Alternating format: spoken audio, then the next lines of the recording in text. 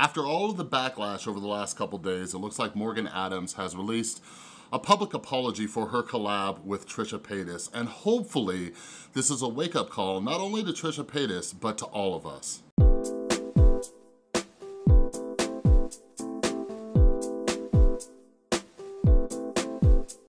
What is up everybody? This is Chris from The Rewired Soul where we talk about the problem but focus on the solution. And if you're new to my channel, my channel is all about mental health and what I like to do, I like to take different topics going on in the YouTube community, try to see what lessons we can learn from them to improve our own mental and emotional well-being. So if you're into that stuff, make sure you subscribe and ring that notification bell. And if you just subscribe and ring that, ring that notification bell, for those of you who are new here, just so you know, like we only look at these different topics that are going on so we could do some self-reflection, all right? So I'm gonna give you a little brief overview of what's going on. I'm gonna read um, the apology that Morgan Adams sent out, but I'm gonna share a little bit of my story and what I still try to do to this day to improve my mental and emotional well-being. So anyways, those of you who saw the video yesterday, um, Morgan Adams recently did a collab with Trisha Paytas and there was a lot of backlash, a lot. I showed some of the top comments on there. Um, Insider Magazine even uh, covered it and how uh, Morgan's fans were really upset. So anyways, um, Morgan Adams took to Twitter yesterday. Um, she probably released this on Instagram too, I'm not sure. But she put out an apology. All right, so it says, from the bottom of my heart, my intention always has been and always will be to make videos to make people laugh and be entertained. I know for a lot of people this video has crossed the line and I am truly sorry for anyone who has felt negatively from my actions and I hear you and I see you. I will always do my best to take your feedback and show you that I really do care. And I know mental health is so sensitive and personal to every individual, including me, and I'm sorry for my actions affecting you and will take full responsibility for that and hope to do better for you in the future. As for a timeline, we filmed with Trisha before any stay-at-home orders were in place. I stayed at my apartment alone for 25 days to make sure I wouldn't get my family sick, then came to stay with them. This was filmed over the course of a few weeks. Also, I see a lot of people saying their comments are being deleted. I appreciate and understand your feedback and value your feelings and haven't deleted any uh, comments. YouTube filters through what the top comments are so people have new comments to read. I hope you know my heart was in the right place and I will take accountability for anyone who I have negatively impacted. I'm sorry, I love you, and I hope everyone is staying safe and healthy. All right, so real quick, there is this thing, right? And I know 99.9% .9 of you watching this are not YouTubers, but what I will say is try not to be so quick to accuse YouTubers of deleting comments.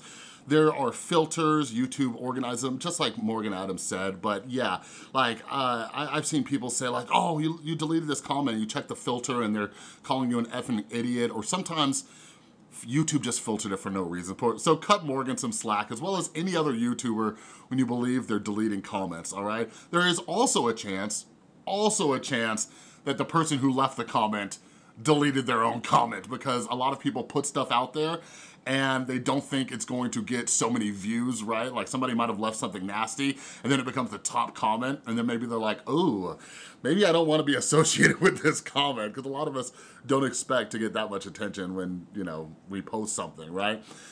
So anyways, um, just to touch on the Morgan Adams uh, side of things slightly, because I want to focus more on Trisha Paytas and self-improvement and all that.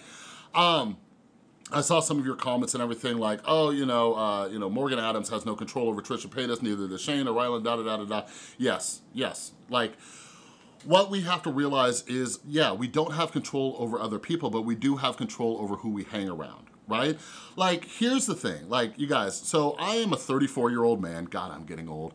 But you know, I realized when I hung out with certain groups of friends, every time I went out, something crazy happened, right? Like every time I went out with a certain group of friends or a certain friend, you know, just us going to hang out, something nuts happened. It was chaos, right?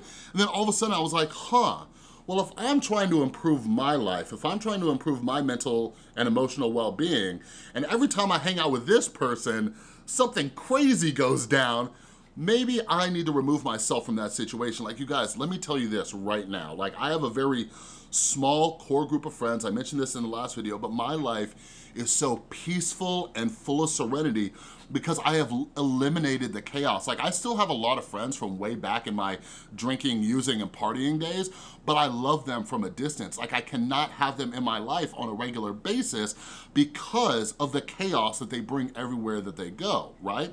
Now, this doesn't mean that I love them any less or I don't wanna be friends with them, but until they are willing to try to improve, right, or to try to change that chaotic factor in their life, like I can be there for them you know, as long as I'm monitoring my own mental health, right? Like, you know, we all have those friends. We all have those friends where every time they message you, like the sky is falling and everything is crazy. Maybe it's somebody they're hooking up with, maybe it's, you know, their family or, or whatever it is, right?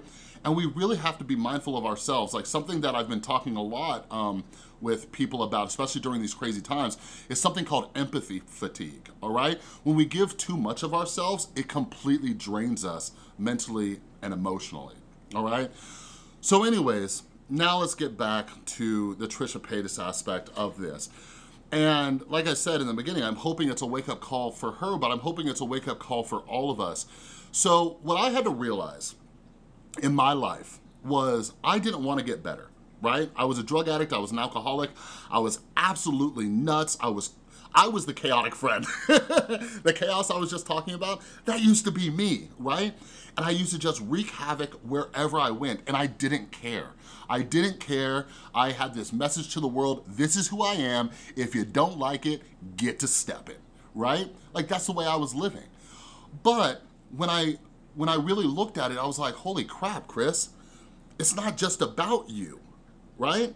Like, your friends are embarrassed by your behavior. What you're doing, Chris, like when people associate with you, it is harming them. You see what I mean?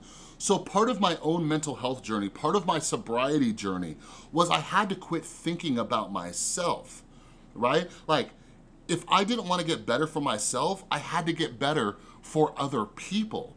I didn't want to be the drunken father showing up to my son's school events and embarrassing him right? I had an alcoholic mother. These things happened to me when I was a kid. So I stopped thinking about me and saying, oh, I don't care if I embarrass myself. It's like, am I embarrassing him? Am I making my son look bad, right? I try to act right so I don't make my girlfriend look bad. I try to act right so I don't let, uh, you know, my parents look bad. The other thing is to, as a, as a person in long-term recovery, I am also very mindful, like even though I didn't ask for it, even though I didn't say, hey, you know, look at me, I am a representative of the recovery community, right? So I try to be mindful of that and what I do, what I say, how I, you know, maintain my sobriety, right?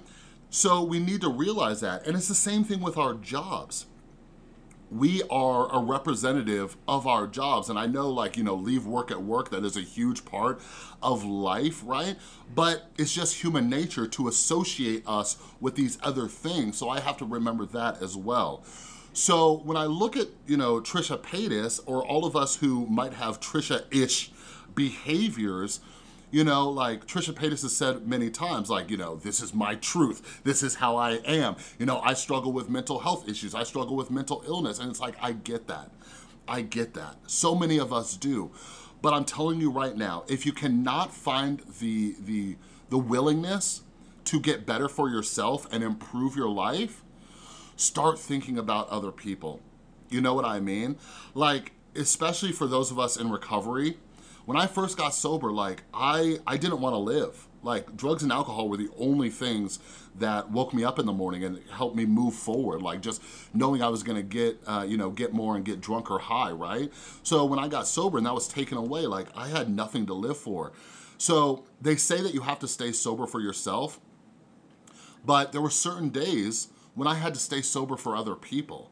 So think about that, because I know a lot of you aren't struggling with addiction, but think about that with your depression, with your anxiety, with your trauma, with your bipolar disorder, with your borderline personality disorder, with whatever it is. Like maybe you don't wanna do therapy, maybe you don't wanna meditate, maybe you don't wanna journal, right?